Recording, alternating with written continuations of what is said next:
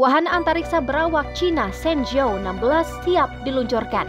Setelah menyelesaikan latihan pra-peluncuran terakhir di pusat peluncuran satelit Jiquan di Tiongkok Barat Laut pada Minggu 28 Mei 2023.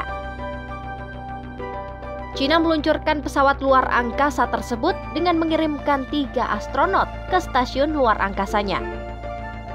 Badan Antariksa Berawak Cina mengatakan bahwa pesawat ruang angkasa itu ditargetkan untuk diluncurkan pada pukul 9.31 pagi di pusat peluncuran Jiquan Barat Laut Cina.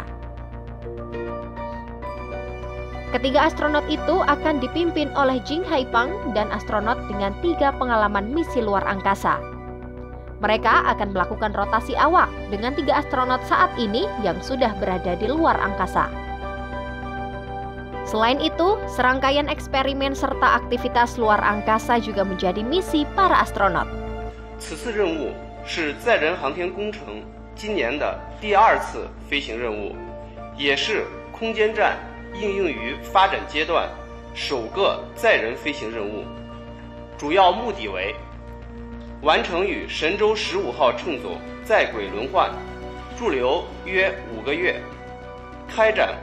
空间科学与应用载荷在轨试验，实施航天员出舱活动及货物气闸舱出舱，进行舱外载荷安装及空间站维护维修等任务。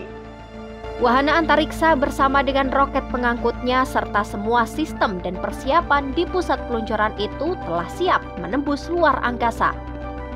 Berbagai inspeksi roket dan wahana antariksa serta latihan pra-peluncuran telah dilakukan sejak kombinasi wahana antariksa dan roket pengangkut Long March 2F itu dipindahkan ke area peluncuran.